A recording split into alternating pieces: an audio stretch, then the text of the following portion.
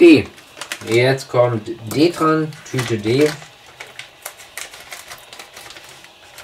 Ja, noch ist ein bisschen was zu tun. Also jetzt kann ich noch kein Ende des Tunnels sehen. Doch, äh, schon. Ich habe bestimmt schon die Hälfte geschafft. Aber man darf nicht vergessen, zu guter Letzt kommt ja noch die Karosserie dran.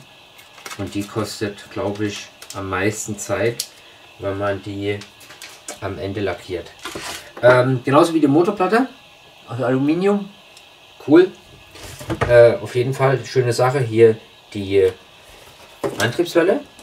Dann haben wir hier auch wieder ähm, unser, glaube ich, nein, haben wir nicht. Doch, wir haben ein Kugeldifferenzial noch mal drin. Ähm, wenn ich das richtig sehe. Also wir haben auch vorne ein Kugeldifferenzial. Also keine Starrachse, kein äh, Kegel oder ähnliches. Wir haben ein Kugeldifferenzial. Okay, wir haben ein 4WD-Buggy. Da ist das auch noch äh, standardmäßig, sage ich einfach mal, so verbaut. Meistens hat man ja äh, früher ein Kugeldiff gehabt, dann hat man mal zwischendurch einen Kegeldiff. Viele haben heute Kegeldiffs, aber das sind meistens die, ich sag mal, moderneren Renn Rennmodelle. Also die aktuellen Spitzenfahrzeuge, wie man so schön sagt. So.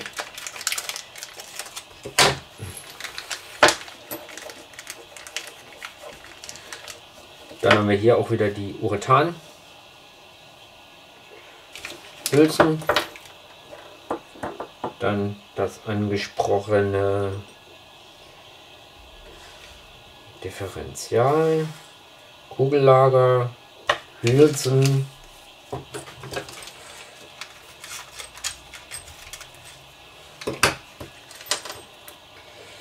weitere viele Kugellager hier äh, Zwischenwellen, weil wir haben ja von der Kardanwelle nach vorne haben wir ja dann auch noch diese Umlenkung im Getriebe. Dann haben wir hier die Teile fürs na, fürs Kugeldifferential und natürlich was nicht fehlen darf die Spurstangen mit dem Rechts-Links-Gewinde. Auch sehr schön, standardmäßig bei. Äh, für die Spur und für den Sturz. So, das ist alles hier quasi Serie dran.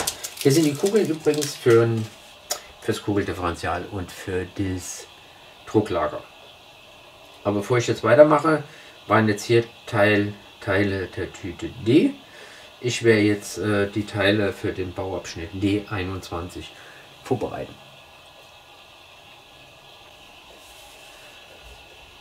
D21.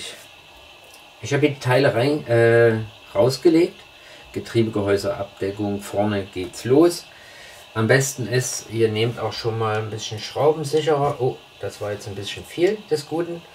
Ähm, nehmt ein bisschen schraubensicherer schon mal zur Hand weil den kann man jetzt hier durchaus gebrauchen.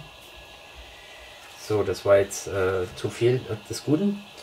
Ähm, Schraubensicher, ganz, ganz wichtig, äh, eventuell hier zu gebrauchen. Und zwar, wenn wir hier vorne die Hülsen am Getriebegehäuse festmachen, ähm, kommen wir hier dran, diese Hülsen, Senkschraube. Und man kommt später schwer hier ran an die Schraube. Also sprich, wenn ihr das montiert habt, dann kommt ihr da super schwer ran. Und dann macht das immer Sinn, wenn man jetzt hier an diese Teile schon mal ein bisschen schraubensicherer rein, ran macht. Gerade Metall auf Metall kann das von Vorteil sein.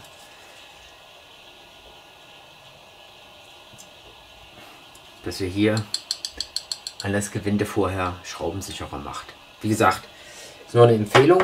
Ihr müsst es nicht machen, aber gerade an solchen Stellen kommt man ganz schwer ran. Man muss dann das halbe Auto zerlegen und dann ärgert man sich, warum man hier an der Stelle ähm, an der Buchse, die man eigentlich nicht wieder äh, lösen will oder muss, ähm, warum man da die nicht besser gesichert hat.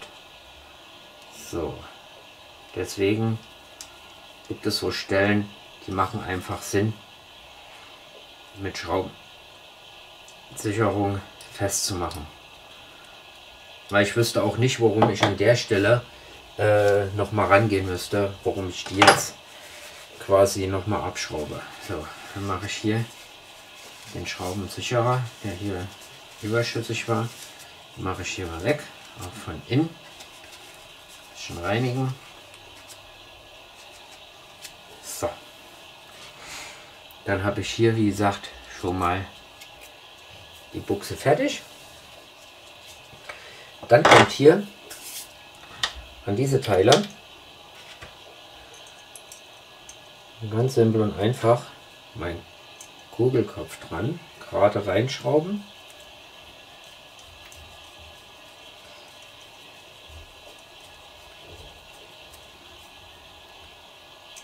Einfach bis zum Ende. Simpel und einfach. Das war, mehr ist das nicht.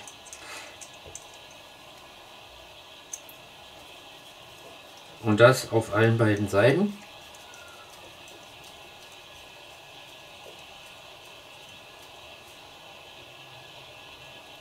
Das wird nämlich quasi die Umlenkung später für den Dämpfer meines Erachtens an der Vorderachse. Also im Prinzip ähnlich oder genauso wie beim TC01. Also man hat da ein bisschen übernommen vom Konzept her und von der Idee und hat nicht gleich alles über den Haufen geworfen. Die Teile sind wahrscheinlich ein bisschen anders, sind wahrscheinlich nicht baugleich. Aber wer weiß, für welches Konzept das wieder jetzt gemacht wurde. So, dann haben wir das. Dann kommen hier die 5x8 Lager rein. Von beiden Seiten 1. So. Und das genauso hier. Von unten, äh, von oben und von unten. Dann gucken wir uns hier das Teil an. Das liegt so da. Und am Ende wird es dann so drauf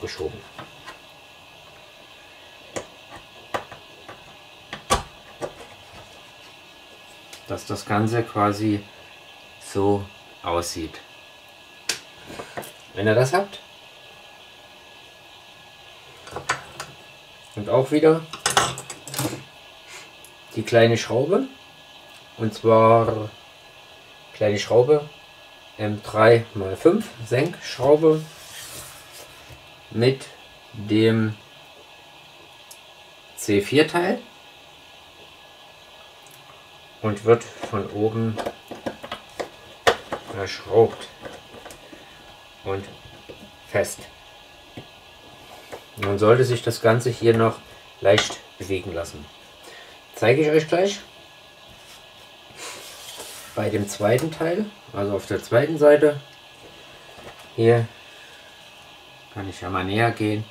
Hier dann wird das hier einfach nur reingeschraubt. Kann man natürlich hier von oben auch Schraubensicherer nehmen, aber wenn ich das von oben mal wieder lösen will oder festziehen will, da komme ich ja gut ran. Nur von hier unten komme ich schlecht dran. Deswegen macht es Sinn, hier darauf achten, wie gesagt, dass das leichtgängig funktioniert.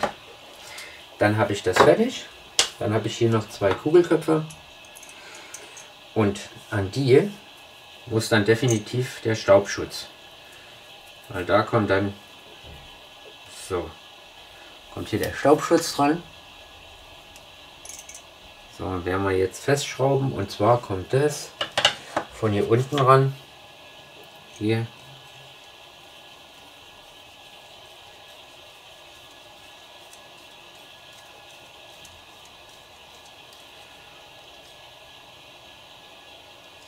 So. Und klar, anderen Seite kommt zwei daran.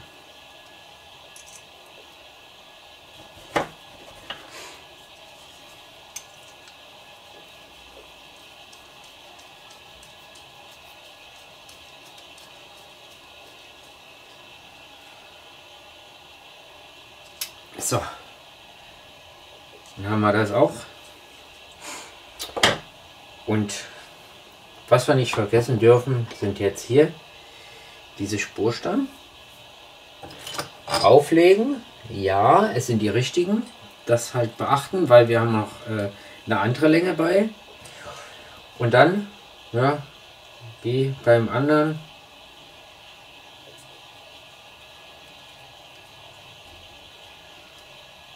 drauf achten, Grate und jetzt das Maß 23 hier beachten.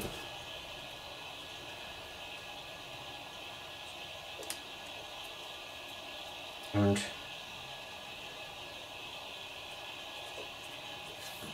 auf Maß bringen quasi. Und dann auch wieder einmal Kopf nach oben und einmal Kopf nach unten. Das noch beachten. Und ja, die Richtung. Also wo praktisch hier die, sag schon, die Rändelung ist.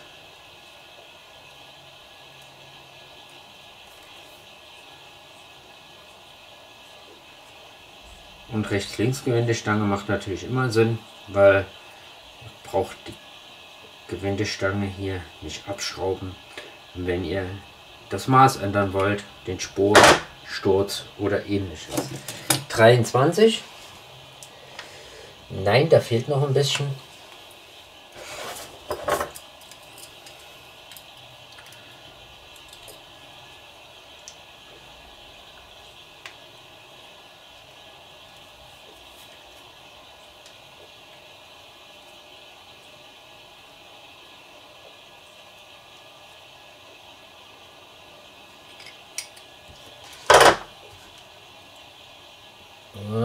sind nicht ganz drauf, aber wir messen mal mit einem Messschieber.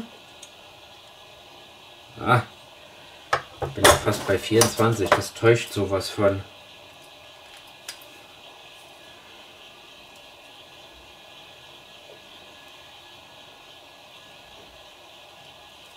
So.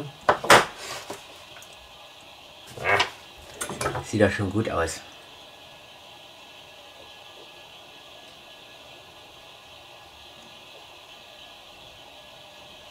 So, 22,7, also muss ich ein kleines Stückchen zurück wieder.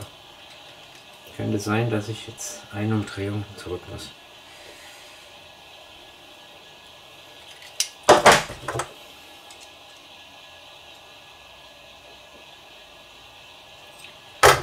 Na, ich bin jetzt nicht ganz zufrieden. Dann muss ich beides Stückchen drehen.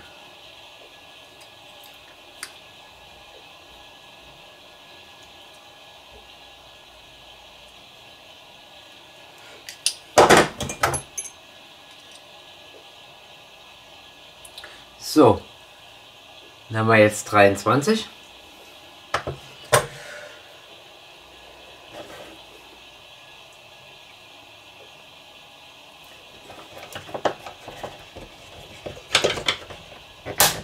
So, dann haben wir hier 23 angebracht. Und es fehlt jetzt noch die zweite Seite. Und die werde ich jetzt in Ruhe nachholen. Und äh, schon mal die Teile für Bauabschnitt 22 vorbereiten, beziehungsweise ich werde dann auch gleichzeitig äh, das Kugeldifferential schon mal vormontieren, weil ich habe es euch ja in dem vorhergehenden Bauabschnitt äh, schon mal gezeigt, wie das funktioniert. Das ist praktisch baugleich. Deswegen gehe ich jetzt mit, übergehe ich die 23 und gehe dann quasi, oder die 22 übergehe ich auch gleich und gehe dann zur 24. Ich kann aber die 22 natürlich nochmal machen. Aber das Kegeldifferential, äh, das Kugeldifferential lasse ich mal aus. Kugeldifferential habe ich aufgebaut. Ich habe alle Teile hier rausgelegt für 22, 24 und Bauabschnitt 25. Dann fangen wir an mit der 22. Ganz simpel und einfach geht es jetzt mit dem MD04 los. So, und dazu werden wir zuerst hier das äh, Kugellager äh, draufsetzen, weil was anderes haben wir jetzt erstmal noch nicht. Und zwar hier das MA13. 10 mal 5 setzen wir hier drauf. Dann kommt hier das äh, Kegelrad drauf.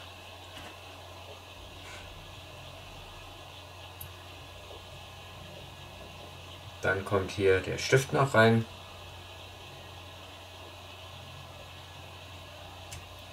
Ich muss das Kegelrad natürlich hier drauf sitzen. Wenn das Kegelrad nicht wegwandern kann, kommt hier ein Sicherungsring hin. Ja. Und zwar von hier. Ja, diesmal von der anderen Seite.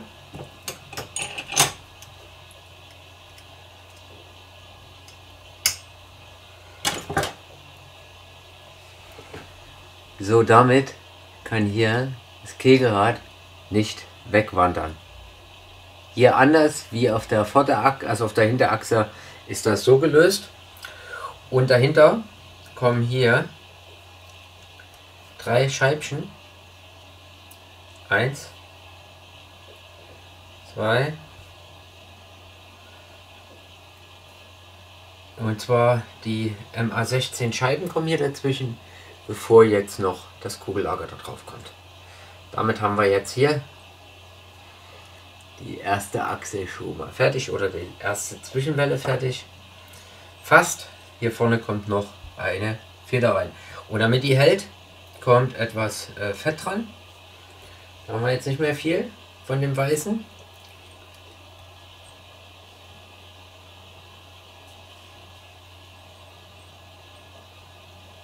Das kommt da noch mit dran. So, damit haben wir jetzt auch die Feder drin. So, Teil Nummer 1. Jetzt springen wir zur 24 rüber und äh, fangen quasi mit dieser Welle an. Setzen zuerst die A8 Buchse drauf, bevor wir den MA20 Stift reinsetzen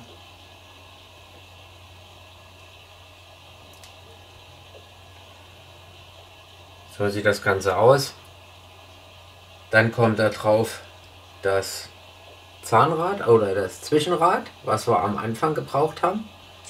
Das sitzt dann auch in dem Stift drinne und ist fest. Und von der anderen Seite kommt A7. A7 drauf, bevor MA15 Kugellager drauf kommt. Und zwar das 8 mal 4. So, so sieht das Ganze jetzt aus. Das ist erstmal der Zwischenschritt. Und jetzt kommt von der anderen Seite. Hm, was kommt von der anderen Seite drauf? Da muss man jetzt mal genau hingucken. Hm, ein Kugellager. Und zwar das MA14.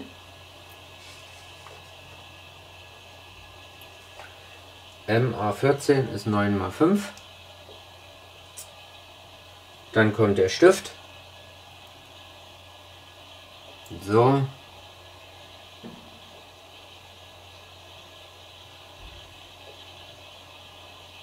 Nach dem Stift habe ich jetzt gesagt MA14, ja. Dann kommt noch kein Stift, weil dann kommt doch noch die Scheiben. Drei Stück. Eins. Zwei. Drei Scheiben. Dann kommt der Stift.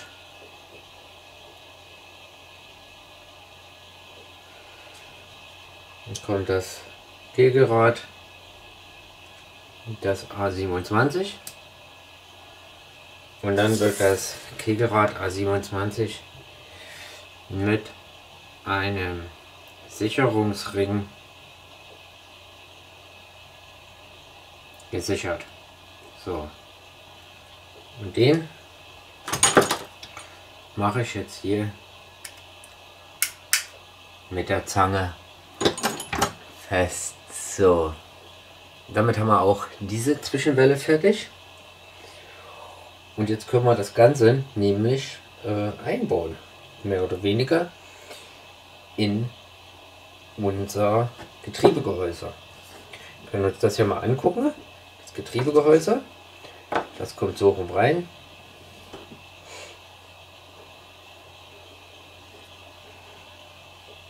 Dann kommt hier unsere Welle ran.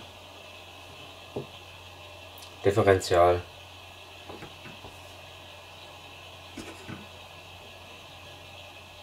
Und so sieht das Ganze schematisch bei mir aus.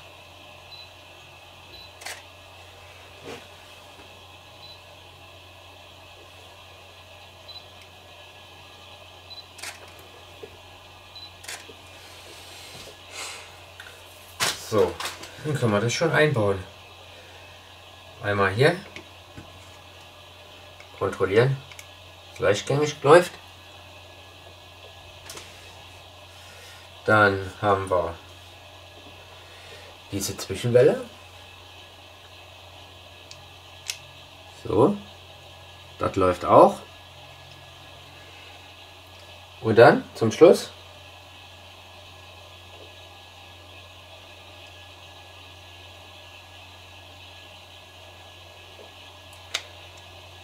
mit hier mit der Feder und hier mit dem Schlitz, wo wir festziehen können. Und dann können wir hier kontrollieren, das läuft einwandfrei, schön leichtgängig. So, jetzt kommt noch ein bisschen Fett drauf. Also wir haben jetzt hier das schwarze Fett.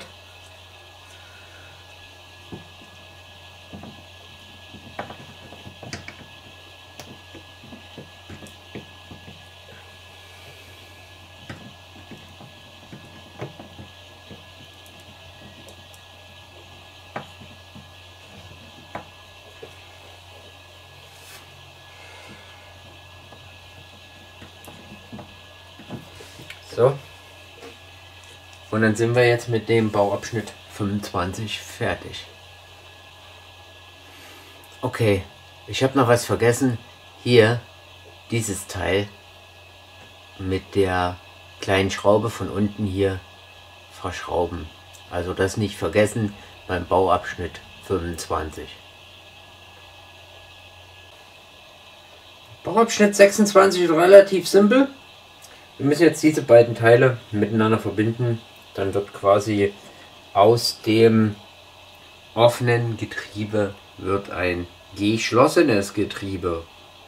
So einfach nur drauf und super passgenau. Und jetzt kommen die ganzen Schrauben ran.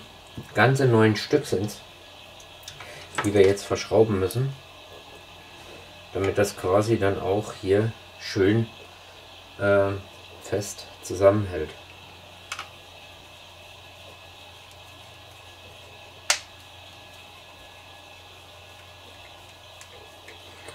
Ja, neun Stück. Nicht vergessen. Irgendeine Schraube.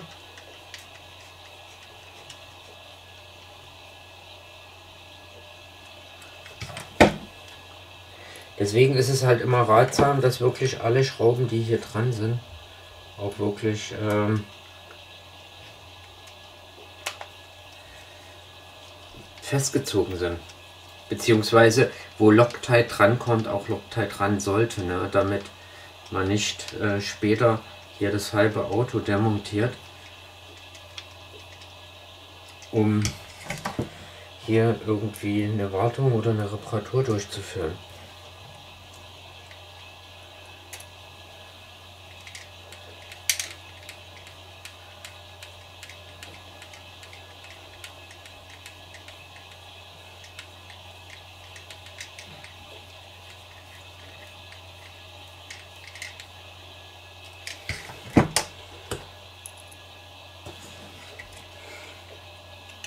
Wo die Schrauben hinkommen, ich glaube, das ist jetzt äh, gut beschrieben in der Anleitung.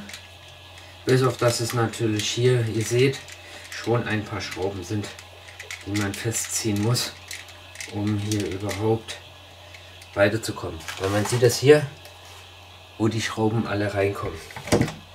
Neun Stück insgesamt, sieben von oben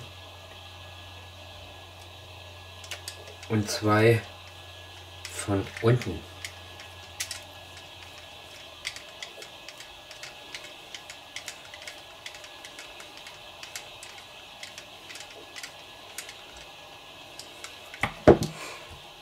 So.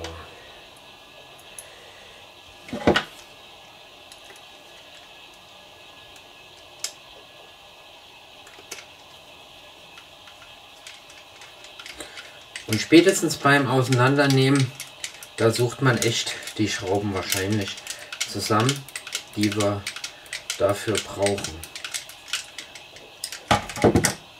Also ob ich jetzt die zwei, ob die wirklich notwendig sind, aber die kommen hier genau da rein. Ja, man die nicht hätte sparen können, gute Frage. Aber spätestens beim Auseinandernehmen sucht man dann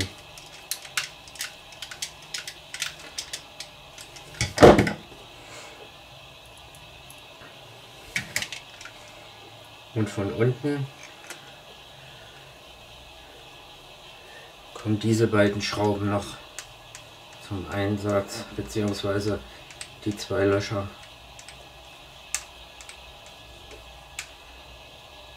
Von unten einmal dieses Loch und dann hier was ich jetzt noch festziehe. Dann habe ich neun Schrauben benötigt um hier das Getriebegehäuse miteinander zu verbinden.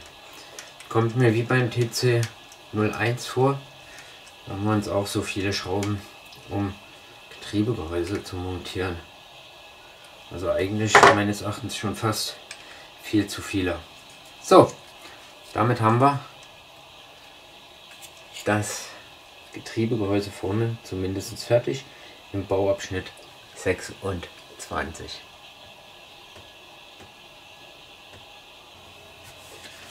Weiter geht's mit Schritt 27 und der Doppelarmanlenkung. Das sieht erstmal ganz easy aus. Dann können wir auch gleich noch mal was zeigen. Und zwar hier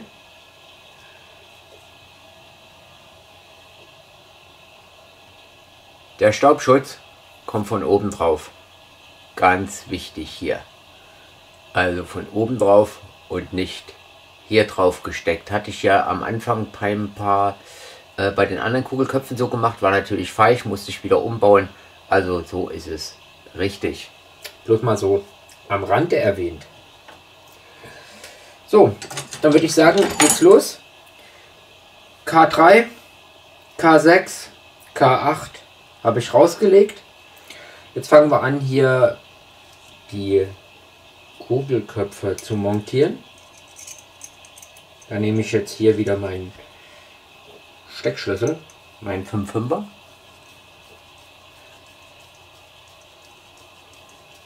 Und werde die MA 21 bis zum Ende hier einschrauben. So, muss hier bündig sein, ganz klar. So, dann kommt der zweite Kugelkopf. Auch kein Problem.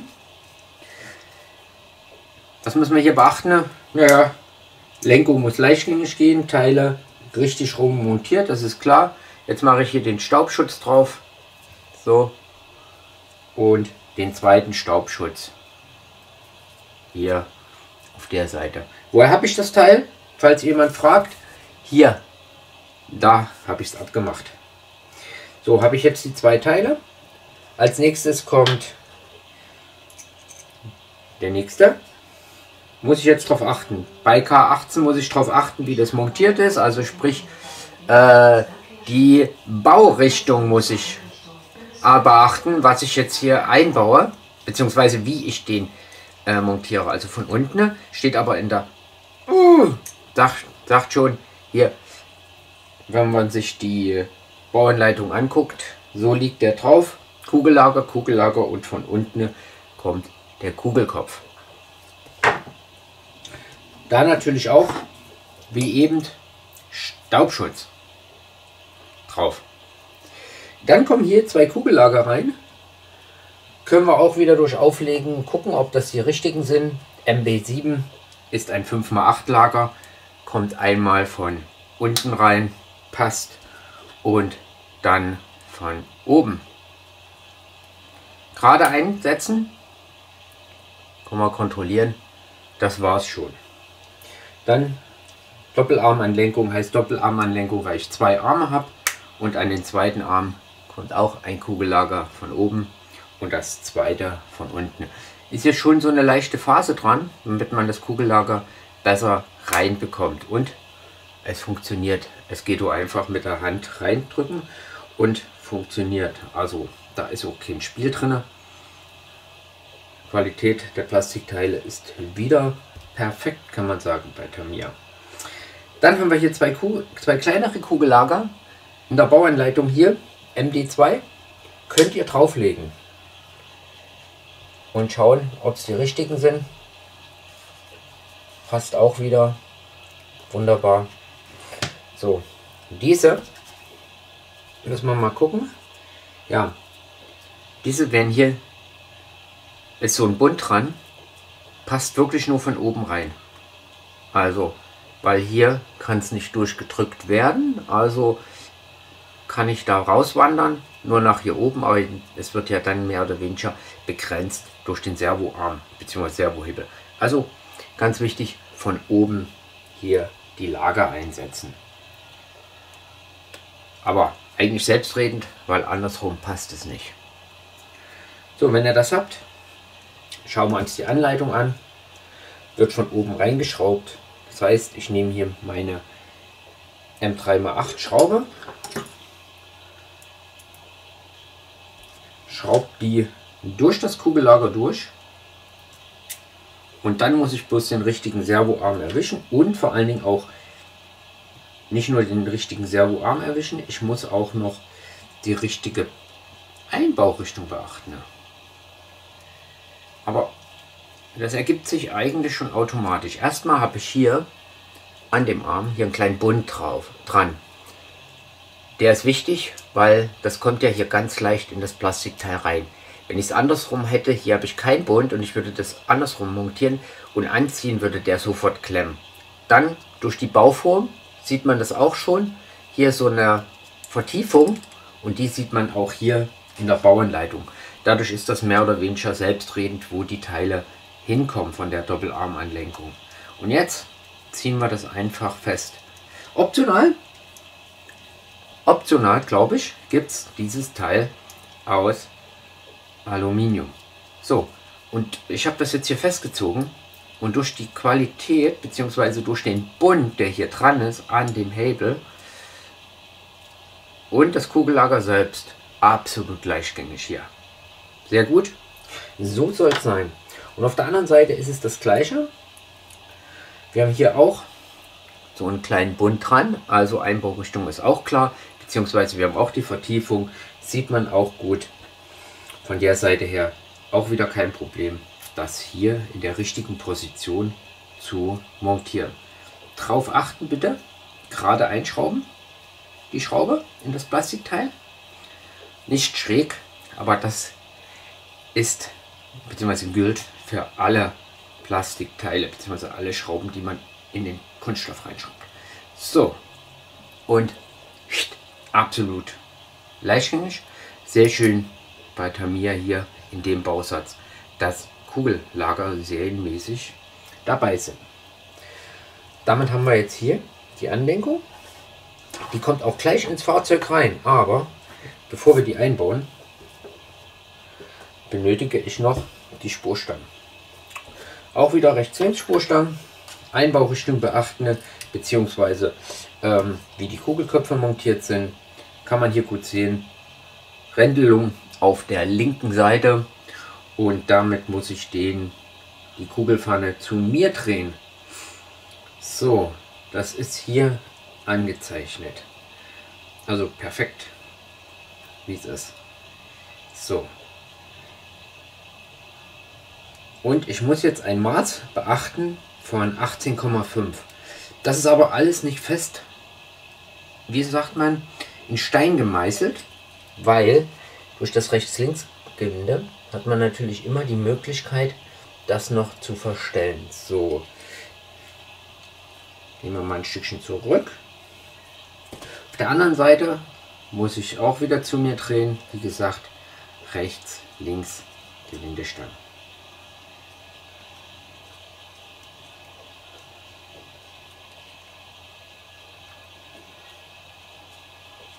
Und ich achte darauf, dass beide Kugelköpfe gleich weit eingeschraubt sind. Jetzt müssen wir mal gucken. Der eine guckt nach oben. Der guckt nach oben. Und der guckt zu mir. So, der muss zu mir gucken. Und was ich meinte mit dem gleichen, ich versuche hier den Abstand vom Anfang des Gewindes bis, zum Kugel, bis zur Kugelpfanne genauso weit zu haben auf der Seite wie auf der Seite. Dann habe ich das dann auch gut mittig angebracht. Und ist eigentlich eine gute Lösung, finde ich. So, jetzt guck mal. Na, das sieht doch schon gut aus. Äh, gut aus. Und 18,5.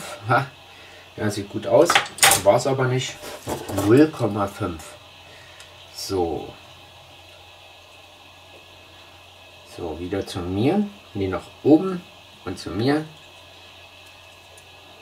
So gehe ich ganz leicht zurück kann man das so noch mal drehen, wie man es braucht. Ich nehme meinen Messschieber und bin jetzt bei dem Maß 18,5. So. Sorry, ich mache mal ganz kurz ein Bild. Das geht relativ schnell, hoffentlich.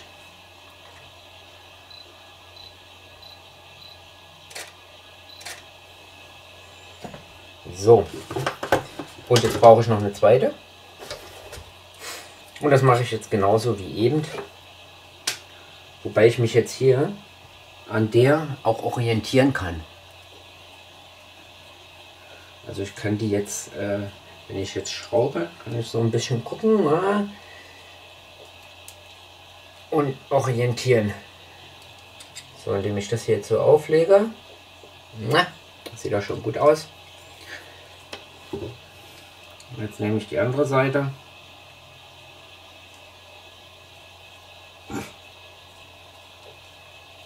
Und dann kann man schon mal sehen, ob das gut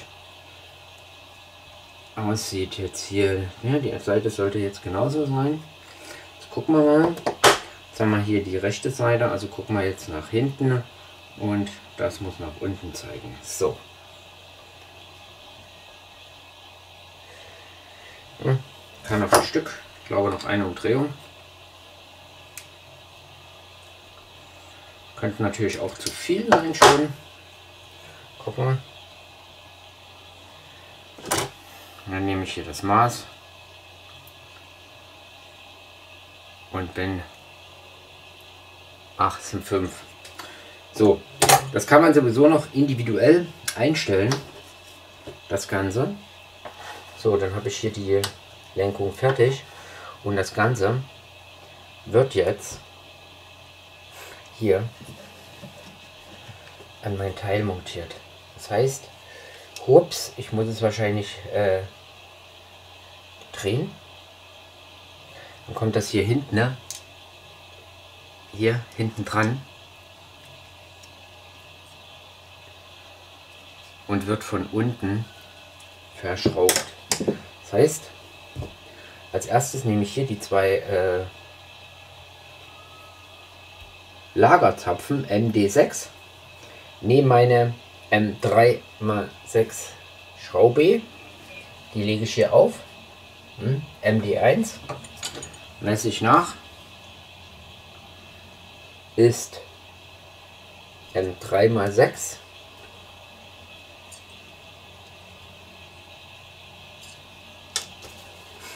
Ist aber eigentlich, wenn ich jetzt hier drauf gucke, M3x5. Also etwas kleiner als gesagt hier. Eigentlich M3x6 steht in der Anleitung drin. So, an der Stelle, weil ich auch wieder in Metall schraube, nehme ich wieder Schraubensicherung. Das sollte jetzt nicht passieren. Das ist wieder mal dieser Effekt, ne, wenn das zu groß ist. Ich nehme meine Schraubensicherung, stecke die Schraube durch, nehme den Lagerzapfen und schraube den fest. Übrigens, das zeige ich euch gleich, fest, ähm, ist hier auch so ein Sechskant, hier, wo der praktisch dann, der Sechskant von dem Lager, Lagerzapfen hier unten, perfekt drin sitzt. Dadurch kann sich das auch nicht verdrehen. Aber die Schraube auf jeden Fall festziehen, weil hier kommt man wieder ganz schlecht ran später mal. Und ich möchte hier nicht äh, später ran. Ich möchte es eigentlich immer, dass der Lagerzapfen immer fest ist. Deswegen bietet sich das an, dort schraubensicherer dran zu machen an der Stelle. So.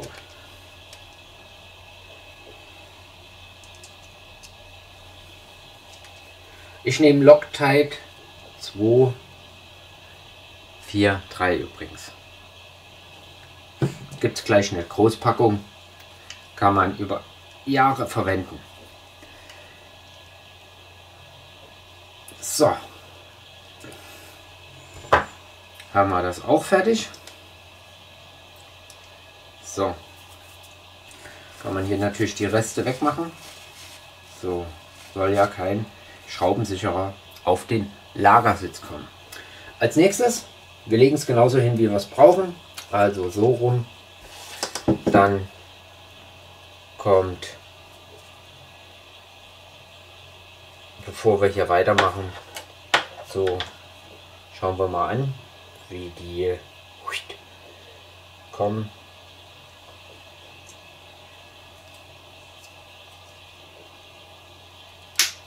So.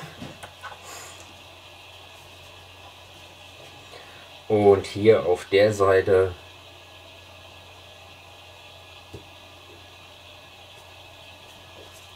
hier.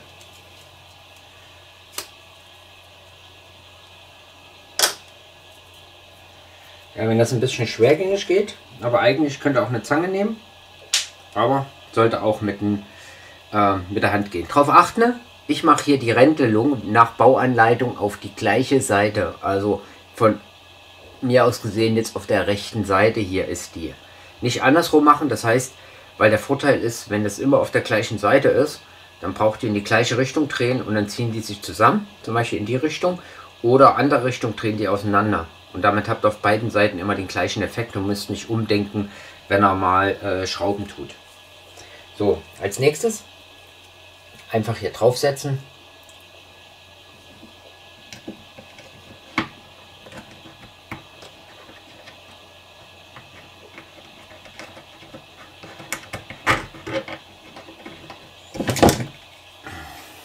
So, ich hoffe, ihr seht das.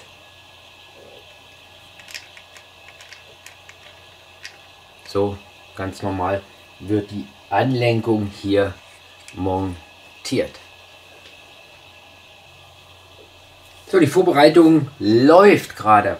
Ja, Punkt 29 sind wir jetzt. Die letzte Sache der Tüte D. Jetzt äh, feiern wir quasi, ja, kann man sagen, Hochzeit. Ähm, Anlenkung, Doppelarmanlenkung ist drin. Das haben wir erledigt. Ich muss jetzt das Chassis, also das Wandchassis, mit der Vorderachse verbinden. Das heißt, hier so zusammensetzen und dann, dass das hier quasi sich so zusammenfügt. Und schon ist es fertig. Auf der anderen Seite können wir uns das gleich angucken. Erstmal kommen hier zwei Schrauben rein, beziehungsweise in dem Fall müssen wir erstmal gucken, ob ich überhaupt, wenn ich das jetzt hier so montiert habe, ob ich überhaupt noch die Antriebswelle reinkriege. Weil diese Antriebswelle, die muss auch noch rein. Das heißt, die geht ja hier ganz gerade durch die Chassisplatte. Das heißt, ich muss hier hinten einsetzen und hier vorne einsetzen. Also einmal hier einsetzen und auch hier hinten.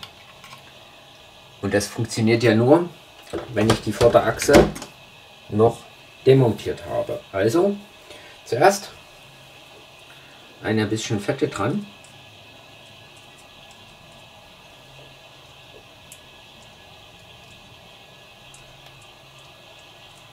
So. Dann setze ich das hinten in meinen Mitnehmer rein. Kann ich mal zeigen. Hier in den Mitnehmer rein. Und dann mache ich hier vorne die Achse nochmal ab und stecke das in vorderen Kabeln rein. drehen, dass ich hier auch treffe, genau. Und wenn ihr das hier seht, wenn ihr das drin habt, dann könnt ihr hier die beiden Teile miteinander verbinden. So. Und dann sollte das dann auch so, wie es jetzt ist, klack, passen. Man kann natürlich auch zuerst hier oben die M3, also MB1, M3x10 Schrauben montieren. Hier, Nummer 1.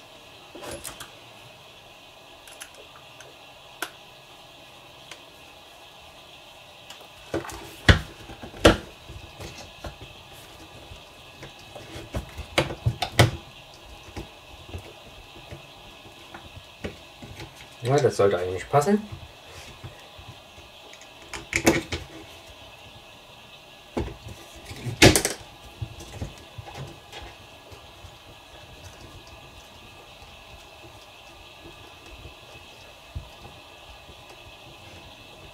So. Und auf der anderen Seite, was ich eben probiert hatte, natürlich auch. Die war jetzt nicht so willig, wie man so schön sagt.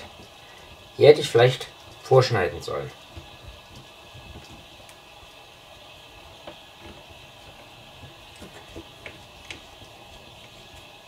So.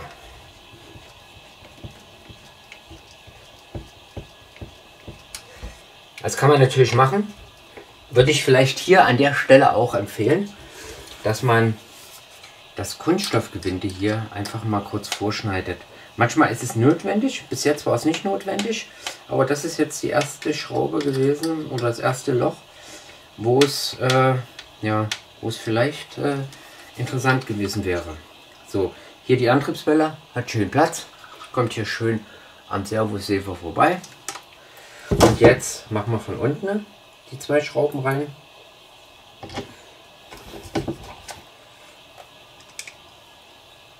Ah, die passt wunderbar. Also es sind nur die oberen zwei Schrauben, wo man eventuell schon mal kurz ein, zwei Gewindegänge ansetzen kann. So. Noch nicht anziehen. Erstmal die jetzt hier.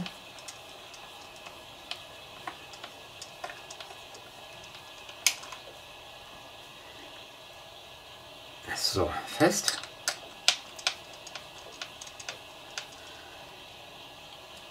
Fest. Fest. Ja, das bewegt sich auch leichtgängig. Hier kommt bestimmt noch zwei Schrauben dran. Beziehungsweise ein Schutz. Seht ihr? Da fehlt ja hier noch was davor. Und jetzt kommen noch die zwei Schrauben dran, die noch festziehen.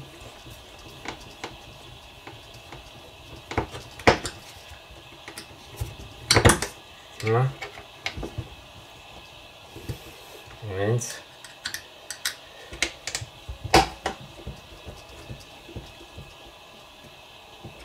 Zwei.